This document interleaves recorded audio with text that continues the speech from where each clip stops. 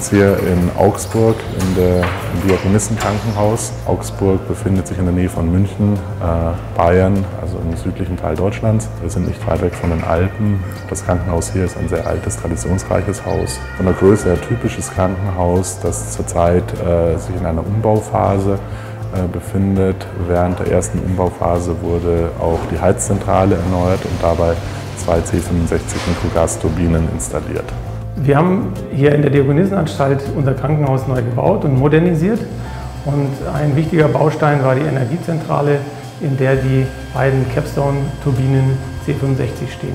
Hier sind zwei C65 äh, Mikrogasturbinen zum Einsatz gekommen. Beide sind Hochdruckanlagen. Es sind zweistufige Wärmetauschersysteme ähm, aufgebaut. In der ersten Stufe wird Heißwasser bis zu 180 Grad produziert. In der zweiten Stufe wird normales Warmwasser produziert für Heizzwecke. Das Interessante an der Anlage ist sicherlich der Wärmetauscher. Wir haben einen zweistufigen Wärmetauscher, der äh, Heißwasser äh, mit 180 Grad und 15 Bar Druck macht und der äh, normales Heizungswasser mit 60, 90 äh, Temperatur macht. Und das ist wirklich eine hervorragende Möglichkeit, die komplette Abgas die Abgastemperaturen zu nutzen, um dadurch einen sehr, sehr guten Wirkungsgrad von über 80 Prozent zu, erreichen. Wir haben in sehr vielen Krankenhäusern in Deutschland äh, Capstone Mikrogasturbinen installieren können, da äh, die thermische Grundlast äh, naturgemäß in Krankenhäusern einfach vorhanden und gegeben ist, perfekt für Kraft-Wärme-Kopplung. Wir haben äh, diese Dampferzeugung ist für uns äußerst wichtig, weil unsere Zentralsterilisation und auch unsere Zentralküche mit Dampf betrieben werden. So ist es wichtig gewesen für uns, dass wir ein sehr effizientes System bekommen haben, um den Dampf zu erzeugen. Wir haben die Möglichkeit, durch die Dampferzeugung auch die also elektrische Energie mit zu erzeugen. Im Vorfeld für die äh, Berechnungen haben wir die verschiedenen Optionen der Dampferzeugung durchgerechnet und sind zu dem Schluss gekommen, dass die konventionellen äh, Dampferzeugungen ca. 60 Prozent schlechter abschließen als die Erzeugung des Dampfes und Strom mit Capstone-Turbinen. Und wir haben dadurch äh, uns äh, eindeutig für diese Technologie entschieden.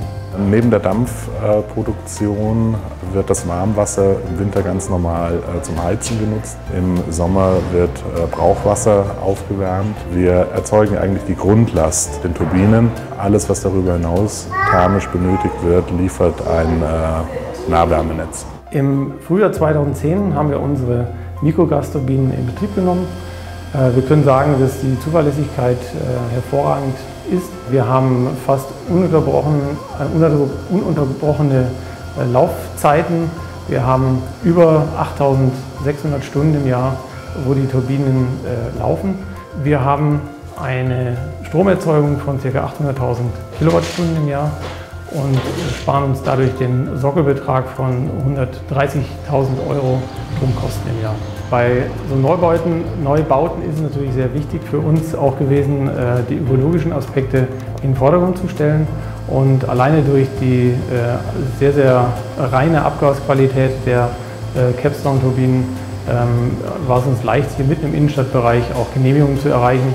Und die Energieeffizienz war auch ist sehr, sehr gut.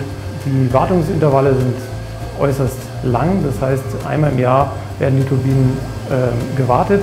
Ansonsten ist nur ein Luftfilterwechsel nötig und wir können nur sagen, dass die Mikrogasturbinen dort eine äußerst große Zuverlässigkeit haben.